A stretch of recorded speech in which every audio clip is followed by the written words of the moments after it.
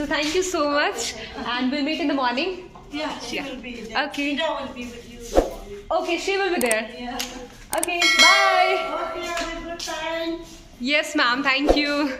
Hello everyone this is Archana welcome और welcome back to my channel और स्वागत है एक बार फिर से मेरे मेघालय की सीरीज़ में। और ये वीडियो मैंने जितनी भी मेघालय की सीरीज़ की वीडियोस डाली हैं, उसमें से सबसे ज़्यादा इन्फॉर्मेटिव होने वाली है।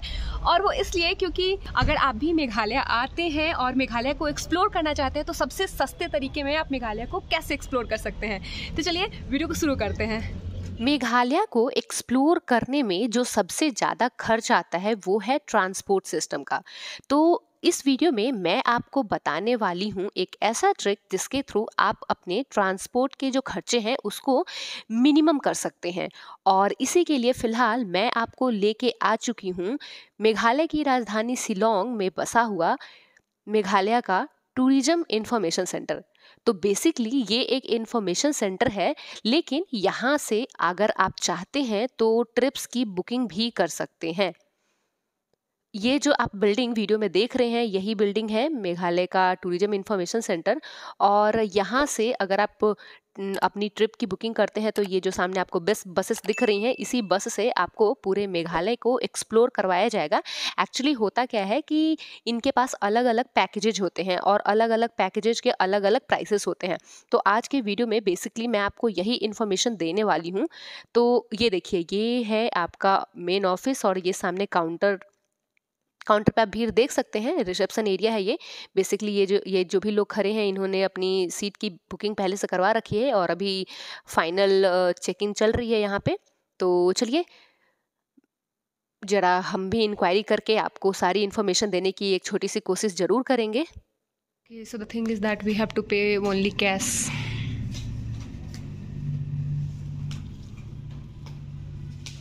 वैसे तो जो काउंटर पे लेडी रहती हैं, वो आपकी पूरी हेल्प करती हैं, लेकिन आई वुड रिकमेंड कि जैस मतलब जैसे ही आप इस ऑफ़िस में आएँगे ना तो इस ऑफ़िस के वॉल्स पे बहुत सारे पोस्टर चिपके हुए हैं और इन्हीं पोस्टर्स में आपको ईजिली प्राइसेस दिख जाएँगे। जैसे कि अकॉर्डिंग टू प्लेस अगर मैं चेरापूंजी की बात करूँ तो अगर आप चेरापूंजी को इनोवा से घूमने जाना चाहते हैं तो आपको उसके लिए पे करने होंगे फाइव थाउज़ेंड फाइव हंड्रेड वहीं डबल डेकर रूट ब्रिज की बात करूँ तो सिक्स थाउज़ेंड टू हंड्रेड और अगर आप लोकल साइट सिंग सिलोंग की लोकल साइट सिंग करना चाहते हैं तो उसके लिए आपको फाइव थाउज़ेंड देने होंगे।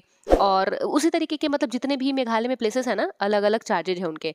और अगर आप स्विफ्ट डिज़ायर फोर सीटर वाले स्विफ्ट डिजायर्स अगर आप जाना चाह रहे हैं तो चेरापूंजी जाने में आपको देने होंगे फोर थाउज़ेंड टू हंड्रेड और भी जितनी भी प्लेसेस हैं, सबका अलग अलग प्राइसेस मेंशन है सिमिलरली अगर आप स्विफ्ट डिज़ायर के फोर सीटर्स में जाते हैं तो आपको थोड़े कम पैसे देने होते हैं।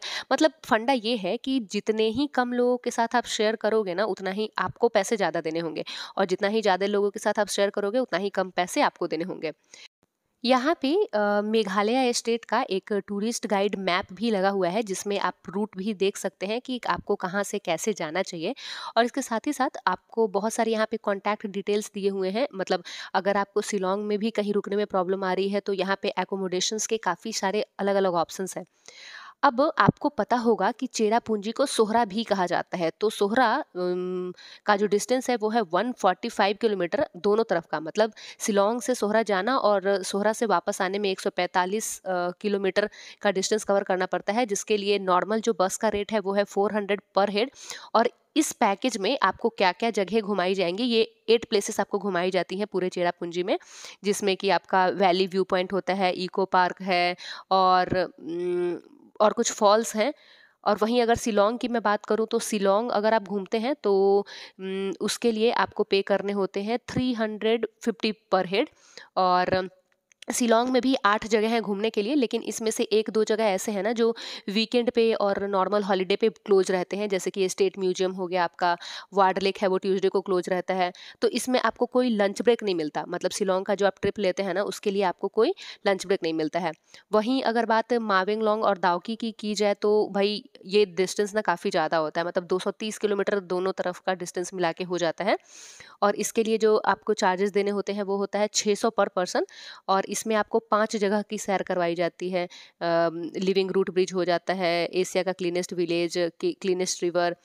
तो ये एक ट्रिप हो गया। अगर मैं बात मासिन राम की करूँ, जिसे कि वेटेस्ट प्लेस ऑन अर्थ कहा जाता है मतलब दुनिया का सबसे गीला जगह, यहाँ पे बहुत ज़्यादा बारिश होती है तो इस रूट में बसेस नहीं चलती है, इसके लिए आपको कार की ही बुकिंग करनी होती है और कार की बुकिंग अगेन अलग अलग डिपेंड करता है आप किस कार से जा रहे हैं। और नाटियांग की अगर मैं बात करूँ तो इसके लिए बस सर्विस नहीं है यहाँ के लिए, कार जो चलते हैं वो रिज़र्व ही चलते हैं और इस पैकेज में आपको छः जगहों की सैर करवाई जाती है, जिसमें जिसमें से एंशियंट शिव मंदिर हो जाएगा, आपका कैनियन वैली व्यू पॉइंट हो जाएगा, स्मिथ विलेज तो ये सारी जगह हैं। और यहाँ पे एक इन्फॉर्मेशन जो बहुत ज़रूरी है, वो ये है कि if there are short fall of passenger capacity on the bus अगर मान लिए कि एक बस में बीस पैसेंजर्स जाने की कैपेसिटी है और दस ही पैसेंजर हुए हैं तो बाकी दस का किराया आपसे ही लिया जाएगा तो कुछ इस तरीके से आप भी अपने ट्रिप की प्लान कर सकते हैं तो मैंने एक होल ऑन बता दिया है आपको कि कहाँ जाने के लिए आपको कितने पैसे पे करने होंगे तो आप उसी के अकॉर्डिंग अपना ट्रिप का प्लान कर सकते हैं hello ma'am Hello. Yeah, so uh, I have uh, I have booked my seat from this place only and from her only. What's your name, ma'am? My name is Linda Okay. and she is Frida. Okay, her name is Frida. Yeah. Okay, so there is one more girl. I don't know Uh, where she yeah, went. Meda. Meda. Meda. Her name is Meda. Okay. Okay, she came. Hello, ma'am. Yes. Uh, one more thing which I wanted to ask. Uh, suppose if I have to book a package from here, so how many days earlier I need to call you? I mean, at the Two, center? three days before. Two to three days before. Okay. अगर आप भी अपने trips की booking इनसे करवाते हैं तो जैसे इसके लिए आपको वन डे बिफोर अपनी बुकिंग करवानी होती है, पैसे पे करने होते हैं और जब आप पैसे पे करते हैं तो आपको बस का टिकट नंबर दे दिया जाता है और कौन सी सीट होगी आपको ये भी बताया जाता है। साथ ही साथ आपको मिलता है मेघालय का एक मैप मतलब जो स्टेट में घूमने वाली जो जो जगह हैं, उनका एक आपको छोटा सा मैप दिया जाता है, जिसके थ्रू आप अपनी मेघालय के ट्रिप को एंजॉय कर सकते हैं। साथ ही साथ आपको ये जो स्लिप मिलता है बस वाली तो ये स्लिप को लेके आना होता है। सपोज़ अगर नेक्स्ट मॉर्निंग आपकी बसेस है ना तो ये स्लिप लेके आइए और स्लिप को यहाँ पे दिखाइए, उसके बाद आप जाकर बस में बैठ सकते हैं। बहुत सारे मैंने फ़ायदे आपको बता दिए टूरिस्ट इन्फॉर्मेशन सेंटर से ट्रिप लेने का, लेकिन एक लॉस है।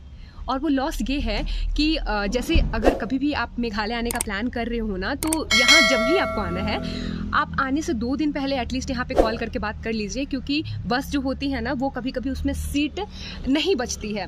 तो अगर सीट उसमें नहीं बचेगी तो आप नहीं जा पाइएगा। और कभी कभी क्या होता है कि हो सकता है आप जिस सीज़न में आ रहे हो, उस सीज़न में यहाँ पे कम टूरिस्ट आते होंगे।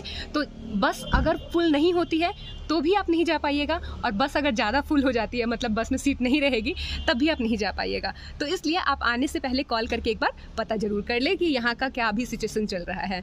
फ़िलहाल मुझे मिल चुका है बस और मैं कल निकलने वाली हूँ चेरापूंजी। तो शिव देर इन चेरापूंजी। चलिए तो ये थी पूरी इन्फॉर्मेशन टूरिस्ट इन्फॉर्मेशन सेंटर की और मुझे पूरी उम्मीद है कि आपको ये वीडियो इन्फॉर्मेटिव लगी होगी। And yes if you like my video then please do hit the like button subscribe my channel do not forget to hit the bell button ताकि जो भी अपकमिंग वीडियोज़ है, उनकी नोटिफिकेशन आपको मिलती रहे। So thank you so much for watching